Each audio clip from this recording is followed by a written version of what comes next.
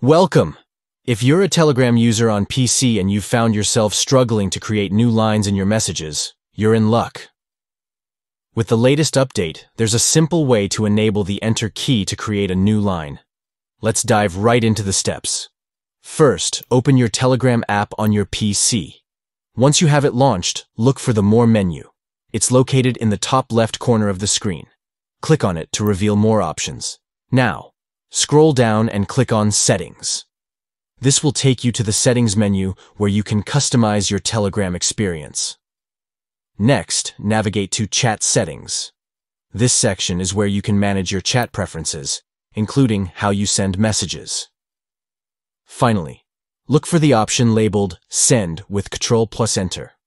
Make sure this option is selected. What this does is allow you to hit Enter for a new line while using Control to send messages, giving you the freedom to format your text just the way you like it. And that's all there is to it. With these simple steps, you can easily create new lines in your messages without any hassle.